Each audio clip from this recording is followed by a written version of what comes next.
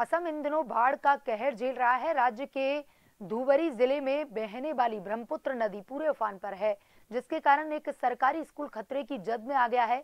बाढ़ के कारण तेज़ी से हो रहे ज़मीन के कटाव के कारण स्कूल की बिल्डिंग क्षतिग्रस्त हो गई है और कैंपस का कुछ हिस्सा नदी अपने तेज बहाव में बहा ले गई। अधिकारियों ने खतरे को भापते हुए सस्तर घाट इलाके में स्कूल को अगले आदेश तक बंद कर दिया। इस गाँव में 1355 लोग रहते हैं। असम में शनिवार को भी बाढ़ की स्थिति गंभीर बनी रही। राज्य में बहने वाली प्रमुख नदियाँ खतरे के निशान से ऊपर बह रही हैं और 30 जिलों में लगभग चौबीस लाख लोग बाढ़ से प्रभावित हैं।